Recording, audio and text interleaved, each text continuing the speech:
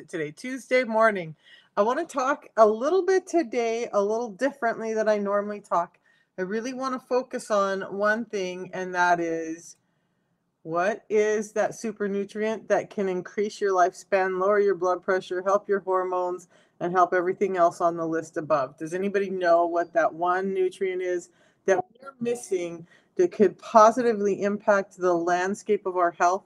Just one thing. And no, it's not berberine. I'm talking about a nutrient that we all need that's been being removed from our diets that's causing us to all feel sick, tired, overweight, have hormonal problems, causing kids to go into puberty too soon, causing men to have erectile dysfunction, women to have PCOS, can even increase the risk of cancers. So if you guys think you know what it is, type it in the chat or or just type a one. Hey, I got a good answer over on Facebook.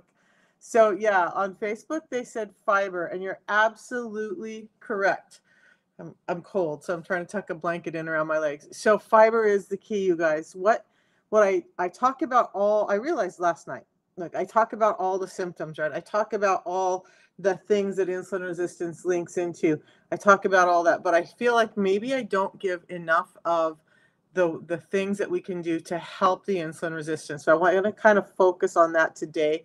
And that one thing is fiber. You guys, out of all the things that you can do, um, getting enough of the right kinds of fiber in can change your lifespan. It can, they've shown that by increasing your fiber intake by about three grams can actually increase your lifespan by 10 to 15 years. Three grams a day can increase your lifespan, your healthy lifespan, by 10 to 15 years. That's huge. And so, why are we not talking about that when there's all this other crazy stuff going on?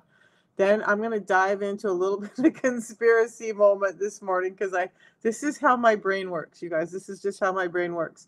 I'm as I'm listening to podcasts and information and stuff this morning um, on fertility and what's happened to us and you know, I've known this for a while that our kids used to hit puberty. Does anybody know what the normal age of puberty for us humans should be? Do you guys know what that that age is? Can anybody type it in if you know what age our kids should be hitting puberty? Um, and that's changed drastically in the last hundred years. But historically, what age were our kids hitting puberty? Does anybody know? Um, type it in if you think you know. And if you don't, just type in a two if you don't know and you want me to just tell you.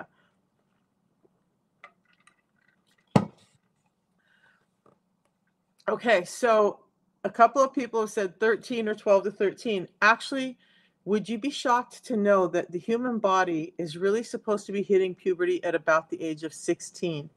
And before our food environment started changing, in the late 1800s, that's when kids were hitting puberty, was at about the age of 16. 12 to 13 is where our kids were hitting puberty at the beginning of the 1900s. Do you know where our kids are hitting puberty at now, today? What's the average age kids hit puberty at today? Does anybody know that? Do you want to take a venture to guess? So right now in 2023, what are what are the average ages of kids that hit puberty? Lower, Lola. It might shock you. Okay. Um, you guys, science is showing that our kids are now hitting puberty between the ages of 8 and 10 years old right? Lindy's pretty close at nine.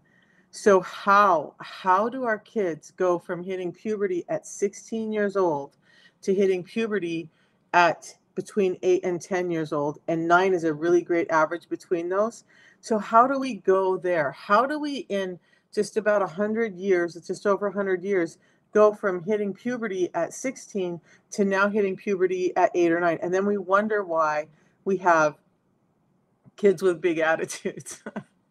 but we, you know, also when they're hitting puberty too soon, do you guys understand that it's affecting their growth altogether? So, yeah, maybe they're starting to show signs of womanhood sooner or um, they're maybe having sexual interest sooner because their hormones are up, all of that. But it's damaging their bones and it can actually stunt their growth or cause bone problems in the long run when they're hitting puberty too soon. When our kids are hitting puberty at 8 to 10 years old, their growth plates haven't finished yet. There's a number of things that are happening in their body that really need time to finish, and that needs to happen by about the age of 16. So, on one hand, things aren't finishing up in the kids' body. On the other hand, the kids' bodies are maturing too quickly.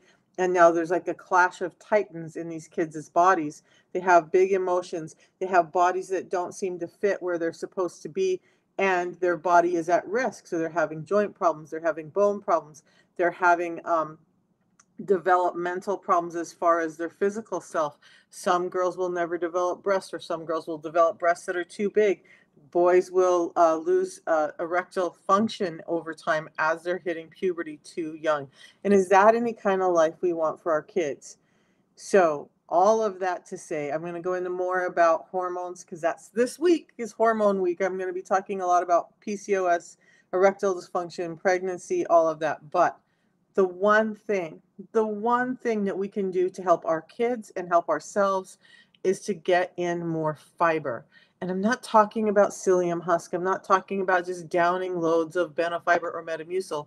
We need to get in the right amounts of fiber and the right timing so that our bodies can do what they're meant to do. And why? But why, Misha? Why is fiber so freaking important? Why is it this super nutrient that you want to just blabber on about? Well, Fiber slows down the digestion of sugars. Fiber slows down the digestion and absorption of fats. Fiber helps you feel fuller longer so that you're not eating mu- as much. You're not overeating. You're not having the breakthrough cravings. And then all of that leads into mental health and a number of other things. So, fiber is the one thing if we could address just one thing in our diets that would help us completely around the landscape of our diet, it would be fiber. But for insulin resistance, remember that insulin resistance is this system or this disorder where our body's converting sugar too quickly and it's not our body's not able to utilize it because it's spiking up our our sugar Wow, you guys, sometimes I hear myself talking, I'm like, you know all this stuff, but maybe not everybody else is catching it. So when we eat, it's just actually uh, energy in our system. What energy is, looks like or is called is glucose in our system or blood sugars. So when we eat, our body, from the moment it hits our mouth, we have enzymes that are breaking our food down and trying to turn it into this usable source of energy for our bodies. And that's great in a normal system, that's great. But how many of you guys now have been told to eat every two hours?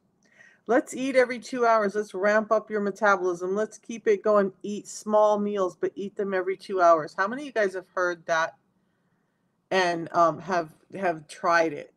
How many people have done that?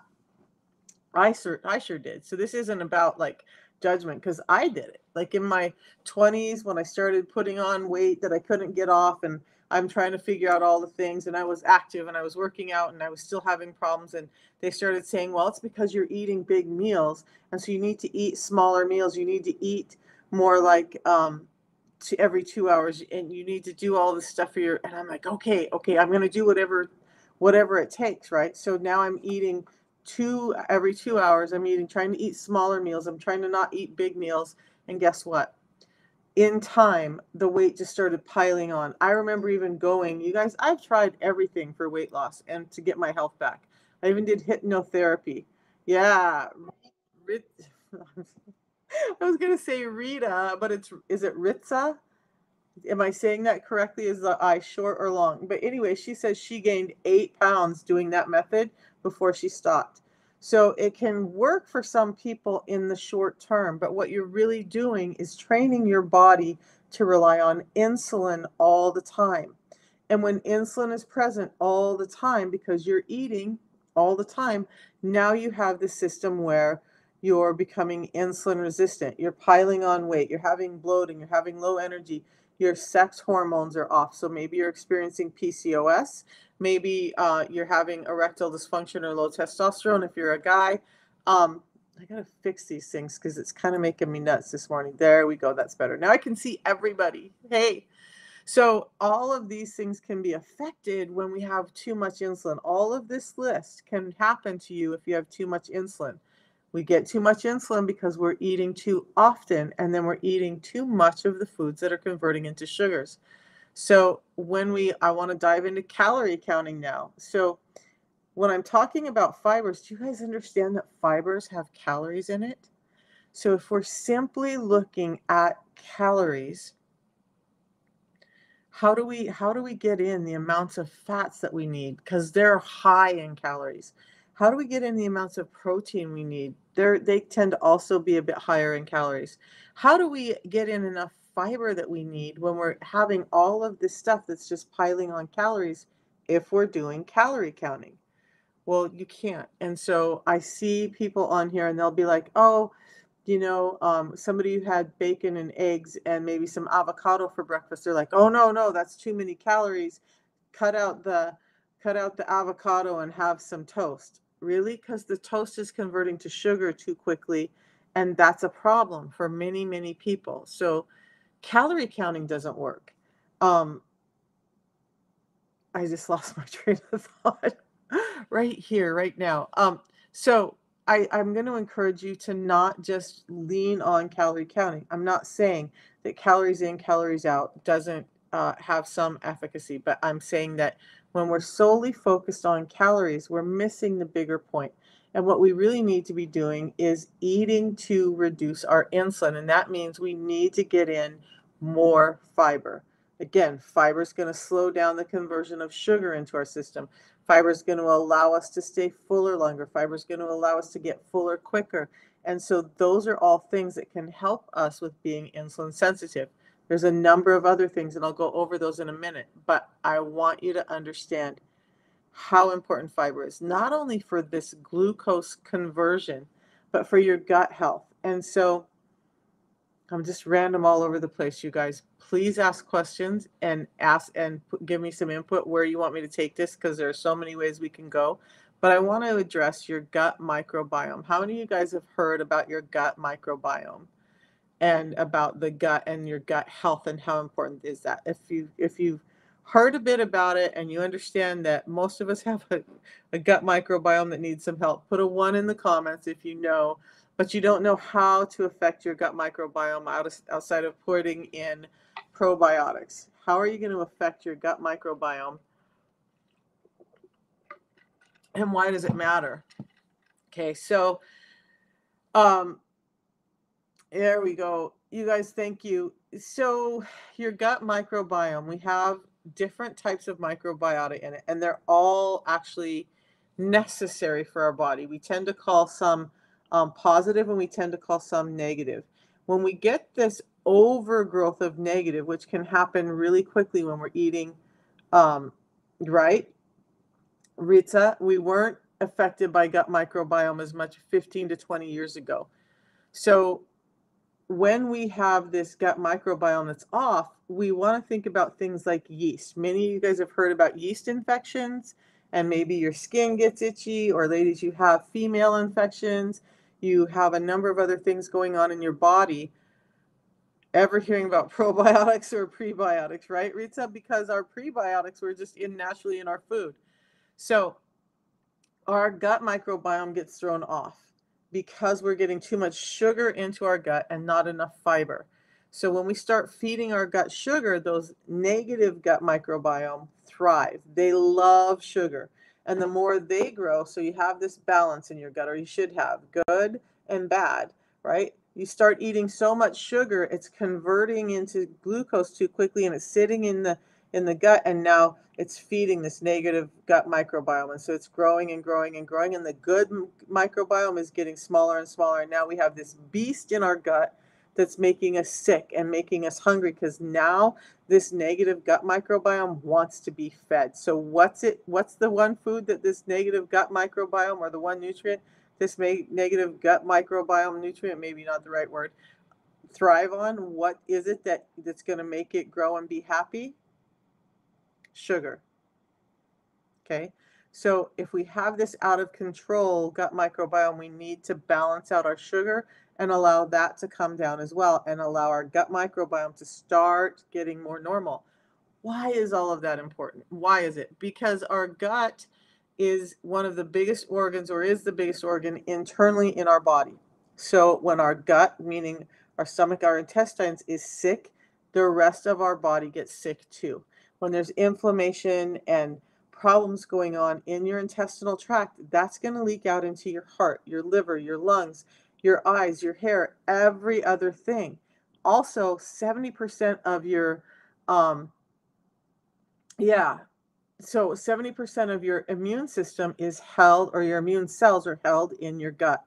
So you guys feel like as you're getting heavier, as you're having these other problems, you start to feel like you're more susceptible to the flu, to colds, to allergies, to a number of things that just everything that comes through, you get sick with it.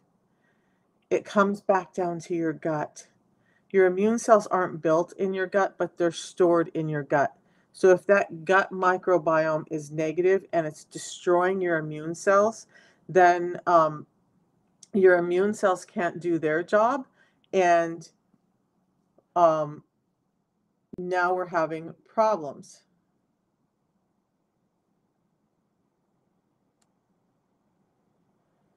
Okay, guys, I'm going to just say this right now. This is not a political page. I'm here to help people's um, people's uh, health. So I'm not going to dive into politics, and I do not appreciate people throwing them up on my page. Um, so I really want to help people's health, and I understand there's things going on in the world, but this is not the place or time.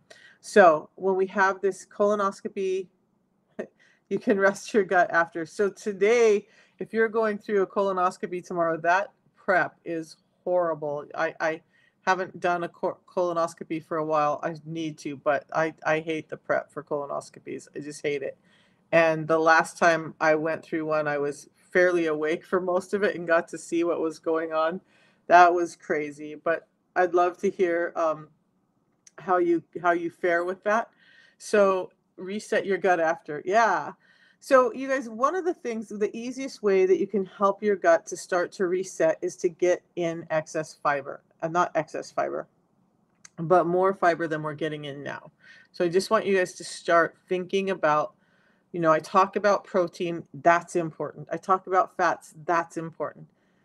But I also talk about fiber. So, the mm. three nutrients that you guys need to focus on, that we all need to focus on, are fiber protein, and fats in that order. Okay. Notice carbs are not on that list. And so now, does anybody know really what carbs are? So we have three macronutrients. Do you guys know what the three macronutrients are? Because I did not. When I started my powerlifting journey, I thought I was all smart and I thought I knew all this stuff. And somebody said, "What does your macros? What do your macros look like?" And I was like, "My my my, my what?" Um, so I'm this again, this is not judgment. I just want I just want to help um, everybody understand there are three macros in our food. You guys know what they are.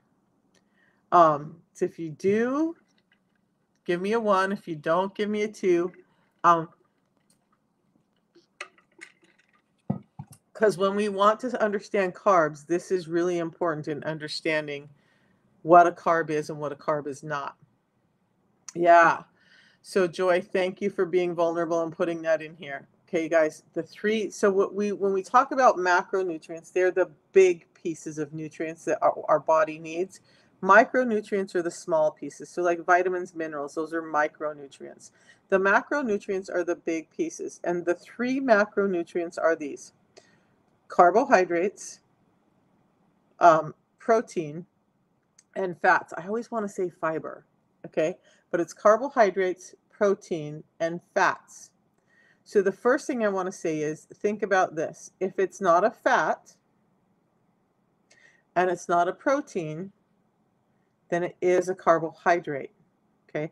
Now, some proteins are both both have fats and carbohydrates in them, but if it's not classified as a fat and it's not classified as a protein, then it is a carbohydrate.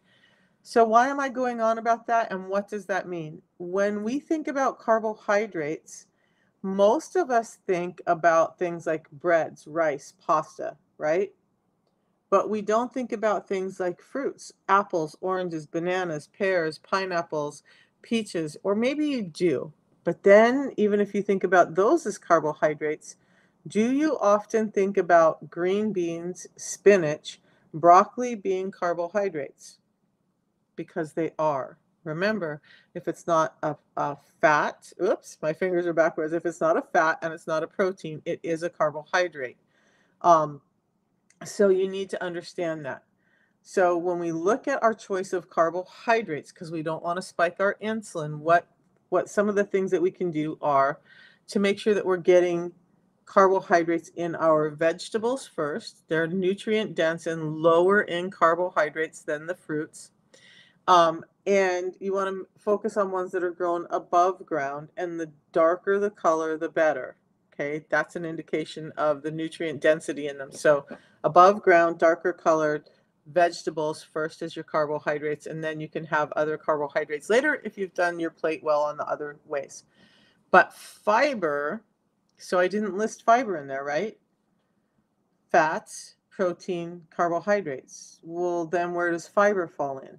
So fiber is a non-digestible carbohydrate, okay? So when you look at the calorie count on your labels, there's a number of things that are making up those calories. So fats, and they're high in calories. But guess what? They also don't spike your insulin, or if they do, very, very, very minutely.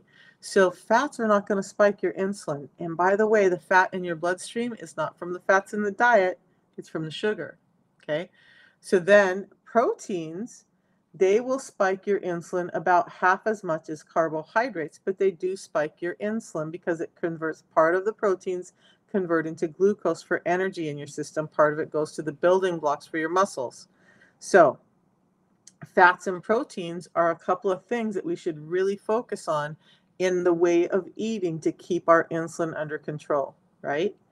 Um, now, if you take those two away, and we're now looking at carbohydrates, fiber is an undigestible carbohydrate. So in, in the carbohydrates, we have a lot of things that convert into sugars, and then we have the fibers.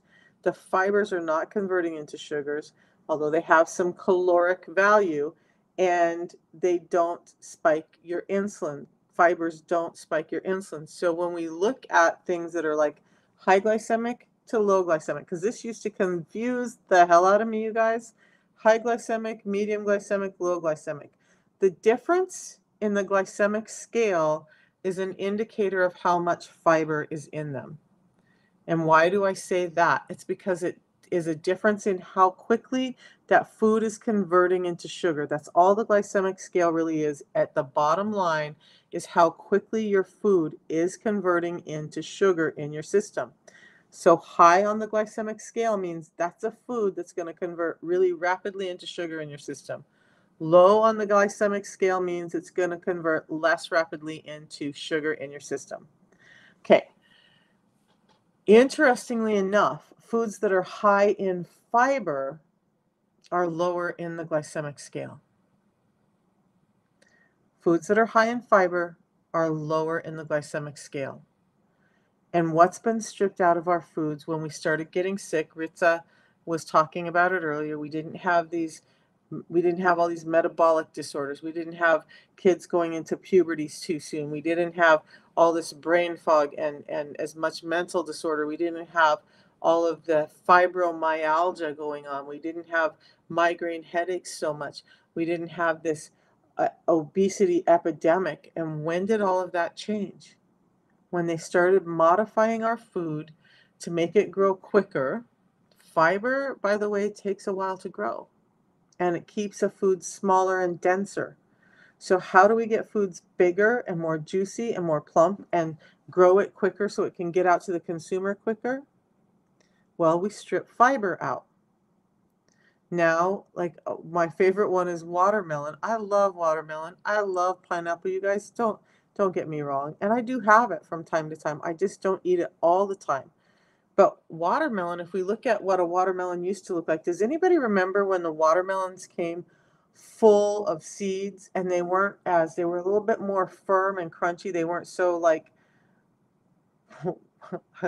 these all these words sound wrong this morning, but wet and juicy. We just didn't have this big juicy pulp inside the watermelon. We had seeds and it was a little more crunchy and tart and that's what watermelons were like when I was a kid. A little bit sweet, but a lot more tart than they are now. How did we get there? We took the fiber out. Now I affectionately call watermelon sugar water in a shell. Now does that take away that it gives any some other nutrients? No. But it doesn't also negate the fact that they took fiber out of our food. When this whole thing happened with fats, two things happened. They told us that fats were bad for us. At the same time, they started creating fats that were machine created, that are drenched in hexane, and then they started feeding us these canola oil and vegetable oil and sunflower oil and safflower oil and all of these things that take this huge mechanical process to create. And I'm going to tell you where why those all started being created in the first place because it wasn't had nothing to do with our diet in the first place. But when they started doing the fats are bad for us, Ancel Keys, which everybody hung on to even though it was disproved, um, and then they started listening to the, the American public or the public in general and saying that people want bigger, better things, sweeter, juicier things. So they're like, well, we've got to remove the fiber in order to get there. So now we're being fed fats that are making us sick, and we're being fed foods that are de- devoid of fiber, and now we're getting sicker and sicker and sicker within a generation. Our genetics do not change as rapidly as our health has changed as a worldwide uh, population. So, by the way, quick little note um, seed oils. So, I'll tell you what the good what what my consideration and what Dr. Bikman, who wrote this book, you guys, my book that I flash all the time, it's all beat up. Um, Dr. Bikman, Dr. Fung, a number of doctors like Li Yao all talk about the fats I'm going to tell you about. They are not the seed oils. When you squeeze a food, if you can get oil out of it, that's a good source of oil. If you're not getting oil out of it, then it's maybe not the best source of oil for you. You guys all heard of a fellow named Rockefeller? big tycoon, right? Well, so they're processing food, they're canning food back in the day. Food was canned a lot more, right? Um, we didn't have all the freezers and all the stuff we have now. So there was a lot more canned food.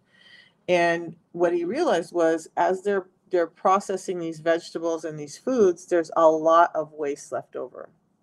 And being the the entrepreneurial guy that he was, he was like, "Well, what are we going to do? This I don't want to just this. We, we got to be able to find a way to use this.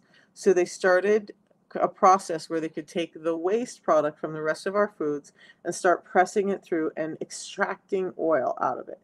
Um, it was drenched in hexane, a highly toxic solvent, to get those oils out. It was never developed to be a food product. It was developed to be a machine oil. So you guys wonder why when you go to a restaurant and they're frying stuff, especially these fast food restaurants, and they can leave that oil in there all day and cook at this high heat all the time and it doesn't just like start a fire? Why is that? Because that oil that they're cooking your food in was actually developed to be a machine oil and withstand that high heat. And now that's what we're putting in our bodies, and then we're wondering why we're getting sick. So the five oils, the one of the things, the fats that I talk about, right? I'm, I'm really focused on fiber, but I want to talk about fats. So there's fat fats that I want you guys to consider switching over to. We don't have any of those other oils in my house at all. And boy, can if I go out to eat someplace and they're using those oils, I can tell it right away because I get sick. My IBS gets kicked up. I have gastritis. I have heartburn. I have all of these things just because of the oil that it's cooked in. But the oils you guys want to focus on extra virgin olive oil, avocado oil, coconut oil. You guys, coconut oil is such a gem. It's such a gem. It has antibacterial com- uh, components.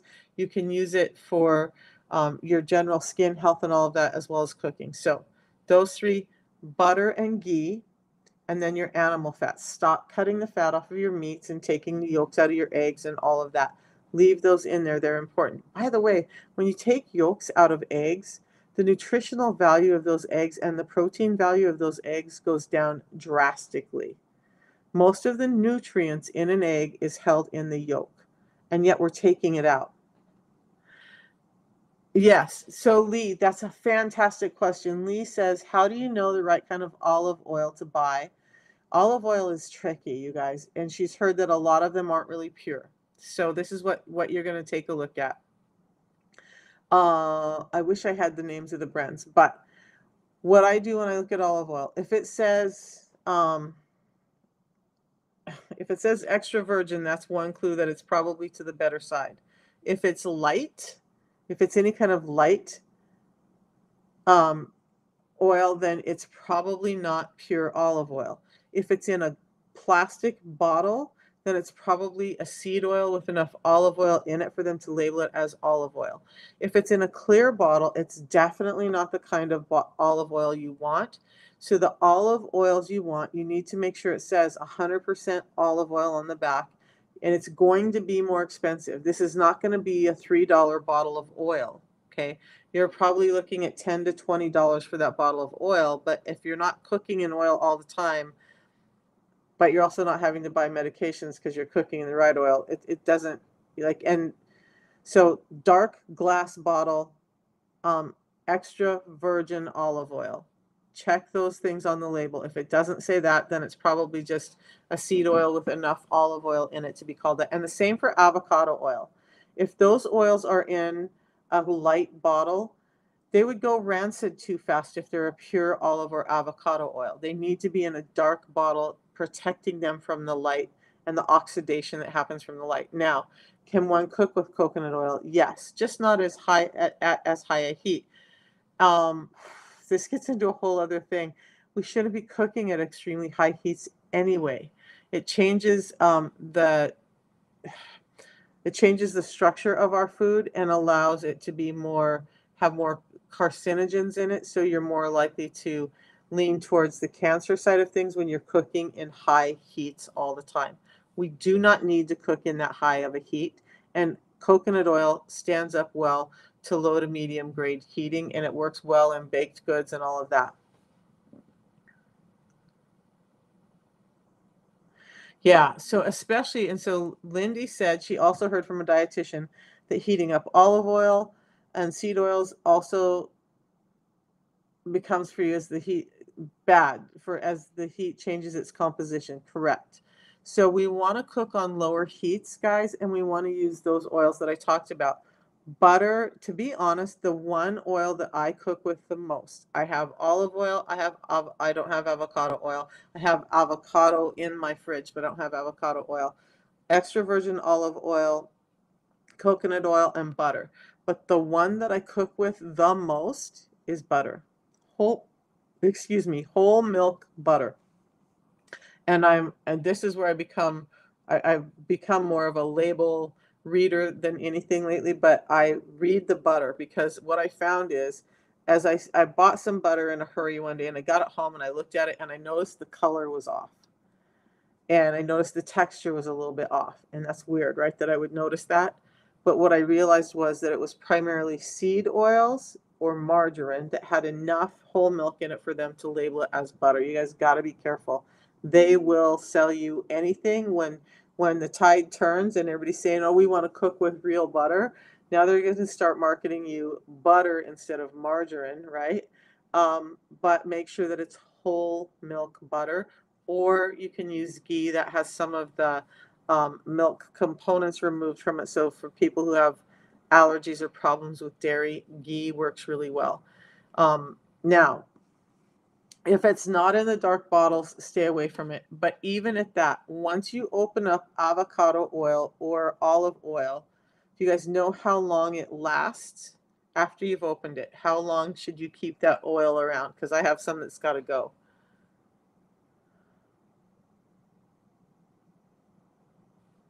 Harmful bacteria in your food. Um, you don't need to cook on high heat. And you guys, what harmful bacteria are you worried about in your food? So I this is this is nothing to do with what I normally talk about, but I, I want to say this. One thing that my father, this great Native American man, told me was we've got to stop being so afraid of all of these things. Do you guys know why we're so sick all the time and why our immune systems are so low? Because, and I learned this also in an allergy clinic, why allergies are up so much because we're never subjecting ourselves to those things in in nature that are just that are just out there in nature. So if you're so careful to remove everything, your immune system is not used to it. Um, I, I don't know. I mean, I don't I don't ever worry about bacteria in my food when I'm cooking. I, I just never do, and yet I don't have those issues from it. So um, that's a good question. But I cooking on high heat, if you if you're worried about the bacteria in your food, then why are you not worried about the carcinogens that are caused when you when you molecularly damage your food by cooking it at such a high heat? Because that's more likely to do damage to you than any bacteria. Um, now there are some rampant weird bacterias out there. So like, yeah, in some places you want to boil your water, right? Boiling your water is is probably a good thing in some areas for that very reason. Um, and I'm not sure what bacteria is going to survive cooking. Um, I, I, mean, I guess you know if you're if you're cooking your your steaks so that they're still mooing, basically, um, yeah, there's a problem with that. Good morning, Melba. Okay, so all right. That when we talk about that now it's a good lead in so bacteria in our food and how do we protect ourselves from bacteria without damaging our food? Well that's when we get fiber in. Fiber is what's going to help build our gut microbiome our gut to be stronger so that it can withstand some of these these things that will happen um, now when i say that i'm really off track you guys but um, I also do do a cleanse every once in a while because I realize that just in our daily life, you know, and our back the bacteria in our gut does not always just come from our food. So I do a cleanse every every I think I've been doing it about twice a year now. Um, I've noticed less and less every time I do the cleanse, but the first time I was shocked at what came out of my system. There are other ways to deal with bacteria than damaging your food. Okay. Um, and part of that's just being careful with what you're eating and that you're cooking it enough, but not overcooking it either. Okay. So, like eggs that are cooked till they're bone dry, just go grab a piece of cardboard and eat it. All right. Back to the topic of insulin resistance and and all of all of this good stuff. So, if we're talking about insulin resistance and it's causing all of these issues, and we know that the one thing that we can do now is add fiber. Remember, it's going to increase your lifespan by 10 to 15 years. It's going to help your gut microbiome. It's going to help balance your sugars out. Um, I do a cleanse from Melba's asking what cleanse do I do. So the same company that does the protocol that I do, they have a great cleanse and it works. I do it right alongside the protocol. Let's talk about the protocol that I do that helped me reverse my diabetes, lose 55 pounds, get my brain fog gone, um, get my blood pressure down, um, helped balance my, my female hormones, all of that. Um, so the cleanse, let me talk about that as soon as I talk about this, but it comes, I, let's back up one step. Yes, the protocol that I do is there's a tea in the morning and a, a pre-meal drink, which is a lot of fiber, seven different soluble and unsoluble fibers that I drink every time before I eat, 10 minutes before I eat. That's what did all of this for me. Nothing crazy. I didn't do any really restrictive dieting. I didn't do any calorie counting. I didn't do any crazy workouts. I didn't do any of that. I took into consideration the six simple steps that I talk about, and I added this this uh, pre-meal drink, which is fibers, phytonutrients, vitamins, and minerals and the tea that you guys see me sipping on every morning. So I'm going to lead into this. The reason I love the system is it's science backed. Guess what? I didn't know at first, but this doctor who wrote this book that I love so much because it's all tattered and worn, um, and I refer to it a lot for the information I bring to you guys. Um, this doctor helped develop these products. Okay. He doesn't uh, work for the company, but he helped in developing these products. So he's a big proponent of these himself. These, because they're science backed and they've been proven to work. And because of all of the studies and the clinical studies and the science behind it, they're allowed to be in something called the prescriber's digital reference, where your medications are found. Only these are food. Okay, so Bernadette, that's amazing. She's been on the protocol for two and a half months. It's working to lower her blood pressure. Her blood pressure was 95 over 66 last night.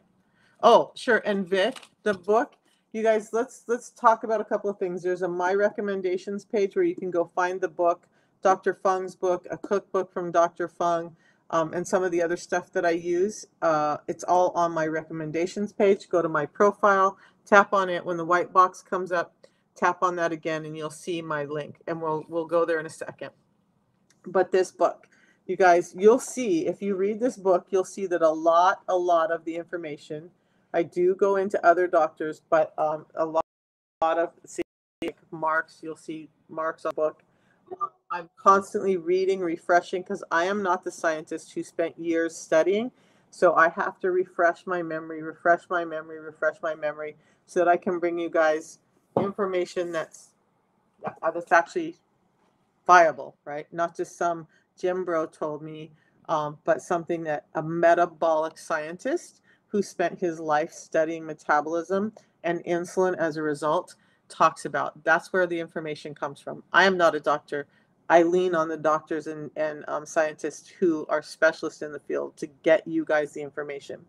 Okay, so the protocol I do is a tea in the morning. Why the tea in the morning? Um, I have. I was just on a conversation with somebody last night that was like, "Can I do the the pre meal drink without doing the tea?" And I'm like, "Well, you can, but they're really made to work together. They both work well on their own. The tea helps boost your metabolism, helps lower your blood pressure, or helps normalize your blood pressure. Let's talk about that because I don't want to think people to think that if their blood pressure is low, it's going to make it even lower the tea helps helps with that. It has anti-cancer, antioxidant uh, properties in it. It has neuroprotective gene expression, which means it's helping expression in your brain as well. Um, it was actually developed as a mental health tool uh, to help with anxiety, depression. Um, it, it, can help with sleep apnea because your brain is getting more nutrients to it. There are components in here that can cross the blood brain barrier, which not everything can but it's also helping the metabolism. It doesn't break my fast when I do a, a, short 16 hour fast, which I'm fasting this morning now, about 13 hours because I ate a little later last night. I do this. Doesn't break my fast. Tastes great. Bernadette, what do you think about the tea? Do you like it? Because I love my tea. Um, there's that. So it's helping me burn fat for fuel. It's helping me have mental clarity and it's helping me have energy without the the like damaging effects of like that can happen with too much coffee or bang energy. Then when I am mm. ready to eat, because we're what I just say, 13 hours in, so I have about three hours before I'll eat again. I'll just have this packet 10 minutes before I eat. It has fibers, phytonutrients, vitamins, and minerals that help support everything that I've been talking about this morning. This has, remember I said the amount of fibers? and it's crazy that this doctor talked about it because he has nothing to do with the company. But the amount of fibers in here is the exact amount of fibers that the doctor was saying would increase your lifespan if taken daily um, by 10 to 15 years. So I'm doing this twice a day at minimum. Um, so, and I, I feel the difference in my body. You can add cinnamon to the tea in the morning. Yeah. The, isn't that crazy, Bernadette? After a while, the tea tastes great and you do like one of the first things i do in the morning is get up and like okay i need to make my tea. It's not just that it tastes great but i know my body's like oh i i want to feel better i want to have more energy. So there's that. Tea in the morning pre-meal drink twice before i eat my first two biggest meals of the day. That's all i have to do. You guys i'm going to get to your questions over here in a second. But look at they they send you this bottle I use about this much water. I put this in, shake it up four or five times, drink it down, wait 10 minutes, eat, and that's it. That's all I had to do to reverse all of this stuff. Okay. Yeah, Kim, I do two teas on a normal day. I do two teas a day. And the cool thing is it's food. So it's not like you can, you're like other medications where like, oh, I had two today, now I'm I'm kind of screwed. No, the tea you can have it. I've had probably five in a day, especially when I'm sitting in lectures and I need I need to stay awake and, and stay focused. I will drink the tea like a mofo during that time, just um, because it does so well for that. So I need help with my insulin resistance is one comment. I already do intermittent fasting, but I haven't lost anything. Um, I think this is what I need to get my body working the way it's supposed to. Joy, yes. So fiber is key, but again, it's not just any fiber. And the intermittent fasting, along with the six simple tips I'm going to give you guys. By the way, there's an ebook for that. I'll show you all this in a second. Paula, the insulin resistance, you guys, I know there's people out there who are saying, do less than 20 grams of carbs, do this, do that. And I'll, I agree with some of it. If you can do that, fine. But what I want is for everybody to know that this is attainable, it's sustainable, and it, it can work in a real life. I'm not going to tell you that you can never have a croissant again. I'm not going to tell you you can't have that bagel again that you love. I'm not going to tell you that you can't go have pasta or pizza. I'm not going to tell you that. We all know that we would do better without those things, but we all know that there's times when we just want them. So this system helps you with that. And I'm going to tell you how I was eating when I lost my 55 pounds, and it might shock you. So I had a question. Um, well, first, Bernadette says she's had weight loss, her inflammation is gone, her pain is gone, her skin tags disappeared, and she's feeling great. So that's that's from the system, right, Bernadette? Those things came as a result of doing the system. So this protocol I just showed you, I'm going to show you where to get it. And somebody asked, um, yeah, Zara, we'll show you that. Prefer the tea hot or cold? I am an iced drink drinker, and I know that, you know, I would do better if I didn't drink so many iced drinks. But look, I do a lot during Give me a break. I um I love my tea iced, but it still is unseasonably warm here in Maryland, or it is for me coming from North Idaho. Um, as the temperature changes and as it gets colder, I will switch. You'll see me have the tea more hot. One of the reasons I don't drink it hot is because I can't just chuck it. I, I'm a I'm a super drinker. Like I usually have I have water bottles, I have my tea, I have so um, I, I like the iced because it just lasts me longer. But I do love it hot. And in the wintertime, I'm going to tell you where to get the system, but I got to say this. I created a, a chai blend. It's going to be in my book that I'm going to try and get out in the next couple of weeks for Christmas for the people who are doing the system on subscription. Um, but I created a chai blend that has, it's got no sugar anything that you can put in your tea in the morning. Um, even though it has a little bit of a lemony flavor to it, that chai mix in this tea is simply amazing. Great wintertime. Plus, it has all these metabolic boosting things like cinnamon and what in it, not in it. Okay, so the system. Lee, let me send you a link um, that you can access, and you can just message me. I'm about to go there now. So everybody over on Facebook, YouTube, that's where you're going to find it. Just go to that link and you'll find my page. Okay, so now let's get to the page because I know everybody's asking and I'm I'm taking my lolly time here.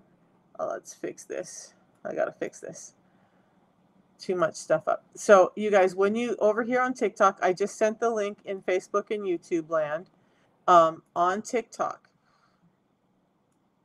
what you're to do is tap on my picture up above. That's going to get you um, to a, a, white box below. Tap on that again. And when you get there, um, you're going to get to my profile page. So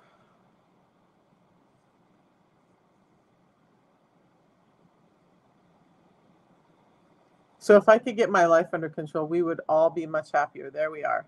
Okay technology. I love it, but sometimes it just is too much for me.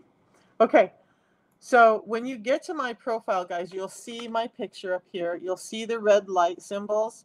Right below it is this link. Click on that link. It's going to get you to this page here.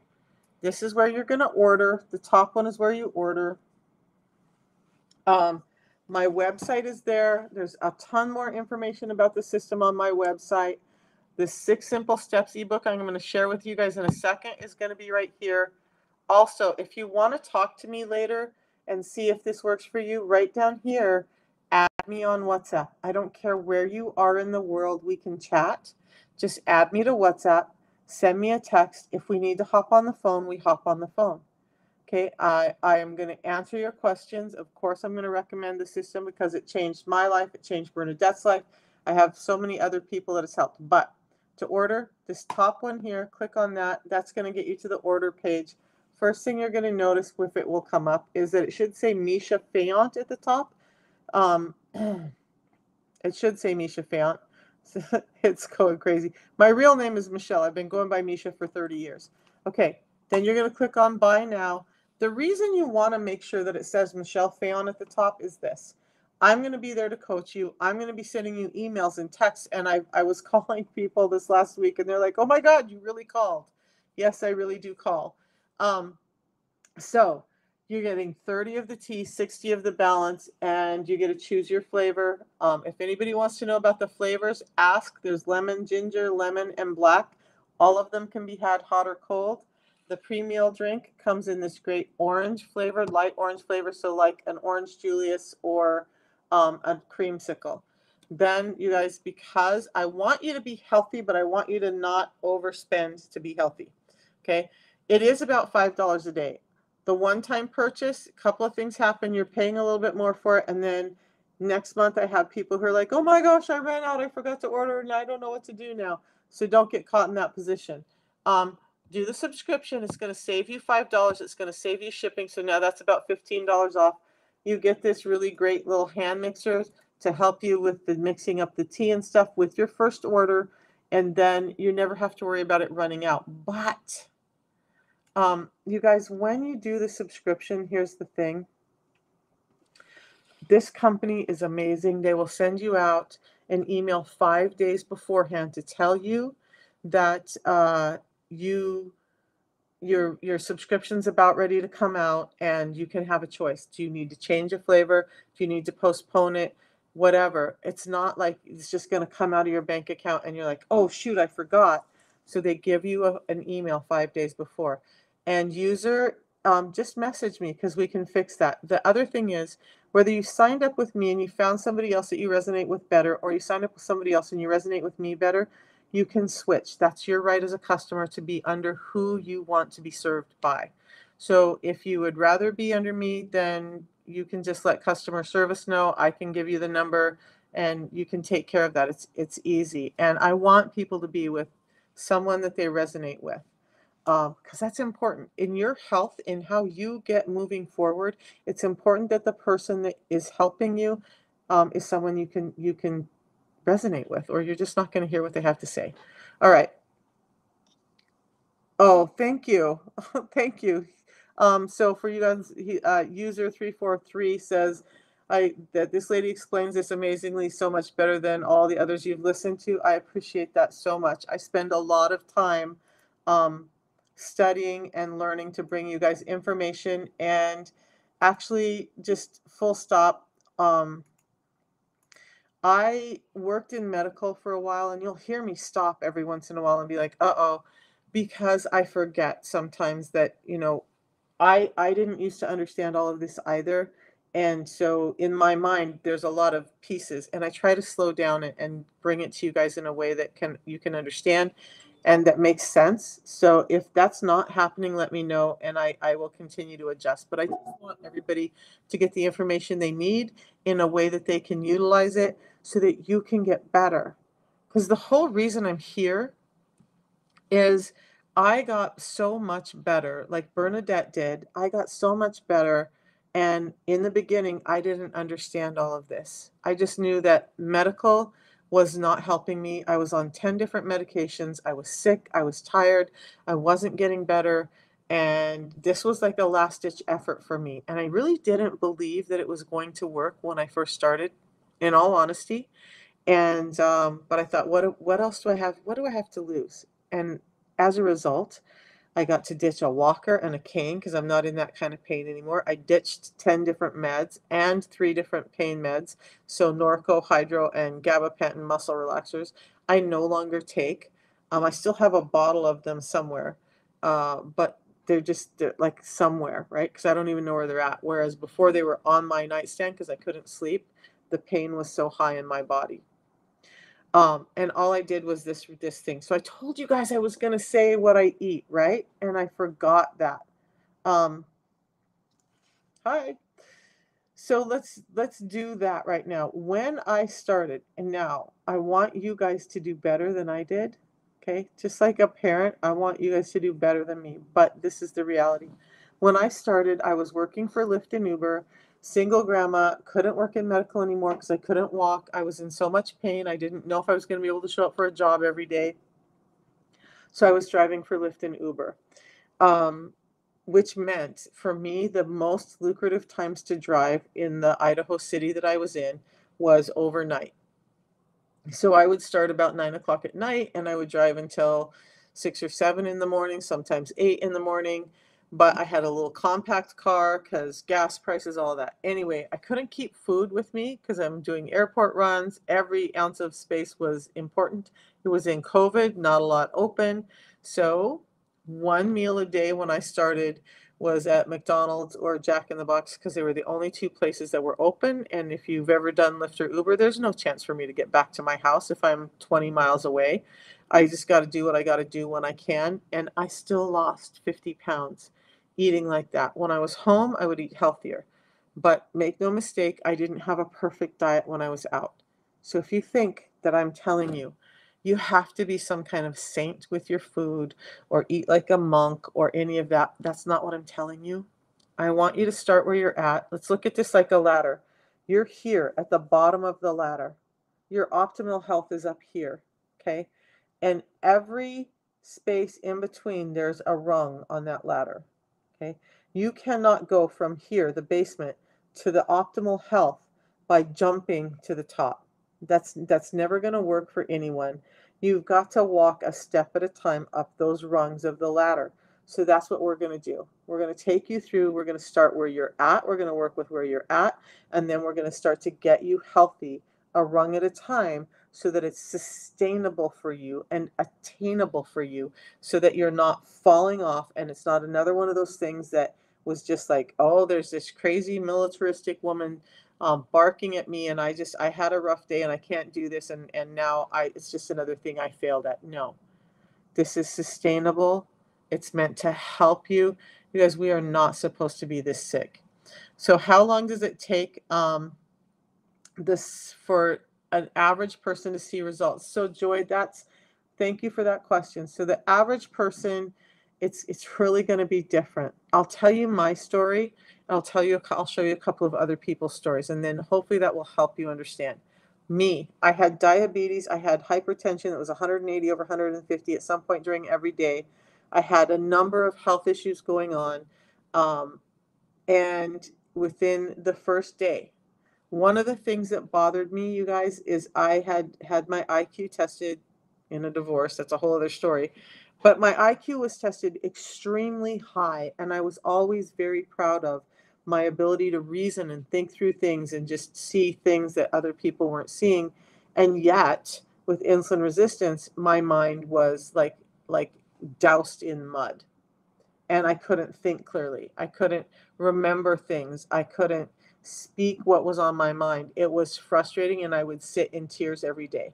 So, why I bring that up is day one, drinking this tea, day one, I noticed my mental clarity back. Day three, I used to do coaching for subconscious um, work for people with trauma and whatnot. And um, coach or nurse Steffi, you guys see her on here as well.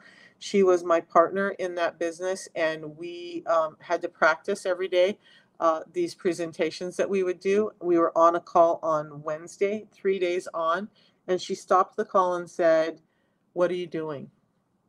She said, I've never seen you so happy, so mentally clear, with so much energy. What did you change? So I shared the system with her, and just because she's all about healthy things, she's jumped on and it changed her life too Is insulin resistance like diabetes? Let me answer this question and then I'll get to that. So, how long does it see? So, I noticed that right away. My blood pressure I had my first normal reading six days after starting um, the system. I went into a doctor's office. My blood pressure was 126 over 84 for the first time ever in that office. Um, I started having, like I said, my mental clarity back. My leg cramps started going away. My inflammation started going away. I just had way more energy. I was starting to sleep better. That was in the first month. The first few days, though, I noticed those measurable results. However, in the first month, um, Rav called me back and said, Hey, Misha, how's it going? I was one of the first people um, with him to help him. And um, I was like, Well, you know what? Not great. I haven't lost any weight a month in, I haven't lost any weight. I'm a little bit upset. Like I thought this was going to work. And he said, just be consistent, hold on. And so we had a talk, and he explained to me the difference between fat loss and muscle or, or weight loss.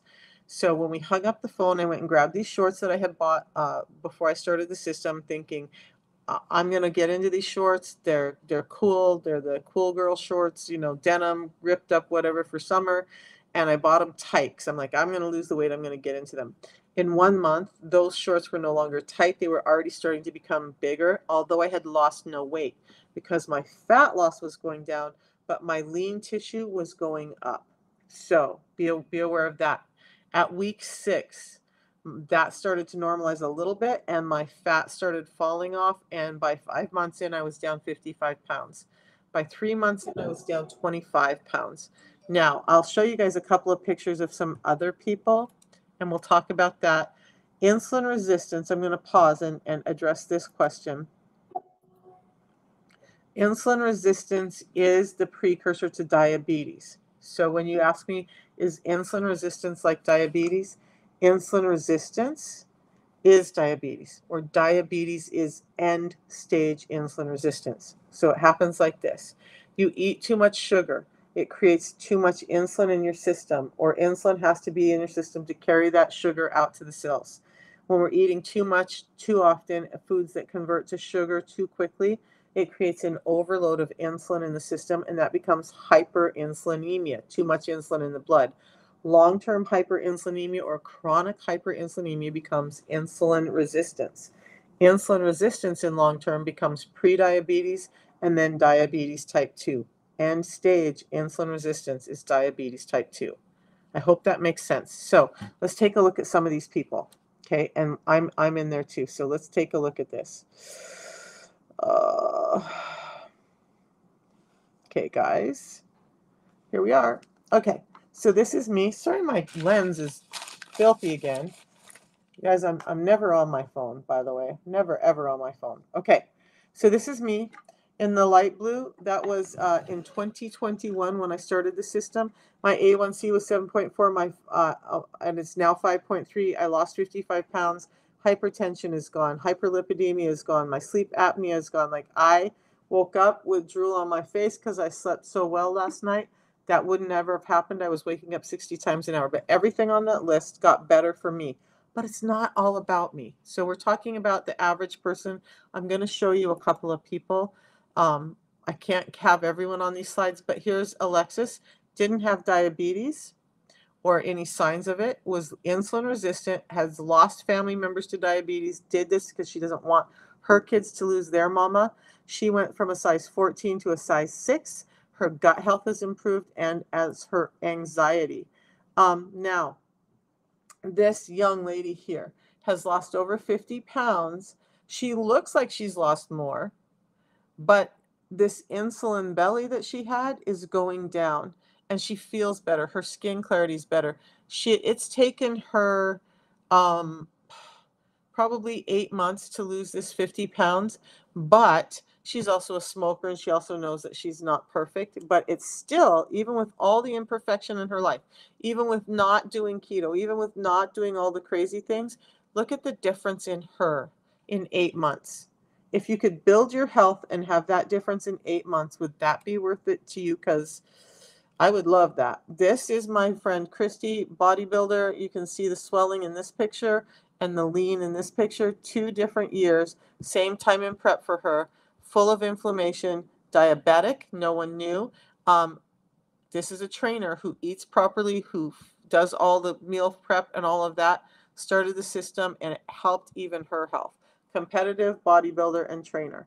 So um, now, Jason has lost over, I, it says 50. I need to fix that. I think it's 160 pounds now that he's lost. And uh, he started losing weight. I think in his first month, he lost 30 pounds, and the weight just kept coming off. So, men are going to lose weight quicker than women for the most part. But in 30 days, can you see that? Yes. But understand Jason had a lot of weight to lose. So his was more uh, dramatic, right? He also had a 13.3 A1C, and his A1C now is also down to 5.7. Um, Cindy has lost over 120 pounds in a year on the system. 10 pounds a month on average is what she's lost. And she's continuing to lose and she's continuing to feel amazing. Her husband has reversed his type 2 diabetes and he's lost a ton of weight and his insulin belly as well. A number of families are doing this because as one person figures it out, the others are like, either the other people are like, I want to do what you're doing, or the person who's getting the results are like, I love you, I want you to do this. Okay. So Karen, her A1C was high, but she didn't have a lot of excess weight. She still has lost over 30 pounds now um, and is doing fantastic. Karen's weight loss was slower. Steffi, in her first three months, she noticed she lost this excess weight that she had. She found her four pack abs without ever doing a sit up her ADHD. Remember, we worked together daily. I noticed the control and the focus for her with her ADHD was so much better. Trying to be on a business call, and Steffi knows this, I love her dearly, but trying to be on a business call with her before the system was like 10 cats on cocaine in a paper bag. It was insane to try and get anything done. Now I can have conversations with her. Now we can stay on track. Her ADHD is still there, but it's greatly improved, as well as her mental state. So um, it's been amazing for her. Uh, Dia, a, a, partner of mine up in Idaho, cancer survivor, um, had endometriosis, had a number of other issues with her gut and what gut and whatnot, has lost over 60 pounds, completely changed her life. But again, this is another one. Her husband is on the system, her children are on the system. Um, this young man is, is her son. He's lost over 35 pounds. He's a type 1 diabetic youth. Um, doing this at 11 years old. So, yes, children can do it. Yes, type 1 diabetics are affected by it. Um, but he's gotten his health back, reduced the load of insulin for him, and he has less crisis now that he's on the system than ever before. And that's just a picture of my feet. So, it just is showing this was my feet when I started every day within an hour of getting up. This was my feet an hour, a year later after being on planes and in airports all day. I came home, pulled my shoes off. You could still see the veins in my feet instead of being swollen and full of neuropathy. So it's dependent on each person. It's also going to be dependent on how consistent you are. And, you know, obviously the foods you're going to eat are going to make a difference. Could I have gotten better results sooner had I done other things with my diet? Probably so. But it is what it is. I still got healthy. I still reversed my hypertension. I want you guys to know that it's sustainable and easy and that, you know, I'm going to be here to work with you through it all. So I hope that answers questions, Joy. Um, the average person, it's really hard to say because there really isn't an average person, but the thing is give it 90 days it has a 90 day money back guarantee some people haven't lost weight until about the 90 day mark and then it just peels off of them for some of the reasons i talked about. Some people lose weight right away but everybody starts seeing changes in their blood sugars changes in their a1c changes in their lipids changes in their sleep patterns changes in their um, anxiety and depression that's going on. Because remember your brain becomes insulin resistant at the same time that your body does so your brain is as insulin resistant as your body is. And what that means is your brain is not getting energy either. So you're going to have anxiety, you're going to have depression, you're going to have brain fog, you're going to have all of those things happening. Getting insulin sensitivity back to the brain is going to help you also with your hunger. Okay. Why? Because when your brain is tired, it senses that it needs energy. It's going to cue you to be hungry because it thinks, I need something to survive. Your brain lives on carbs, by the way, carbs and cholesterol. So if the carbs are not being taken up in the system because you're so resistant to insulin, which is carrying the carbs to the cells, you have a problem. And now your body thinks you're hungry. Hey, Labots. Um, so I, I hope that helped, Joy. So you guys, again, if you're interested in the system, I got to run because I've got calls to make, but um, just tap on my picture up above. When the box comes down up down below, tap on that. Get it ordered. If you um, want to be coached by me, just call me. Let me know. My numbers are all there. We can take care of that too. Uh, but just get started. Invest in your health. You guys, I know. I I heard somebody say, "Well, well, you know, it's, it's Christmas time, but let's think about that too. For me, I was so sick. I was I was a burden to my kids, or I thought that I was a burden to my kids. What better Christmas gift have I ever given them than a mom who is thriving, who no longer they're no longer afraid that she's going to to expire in the next five years.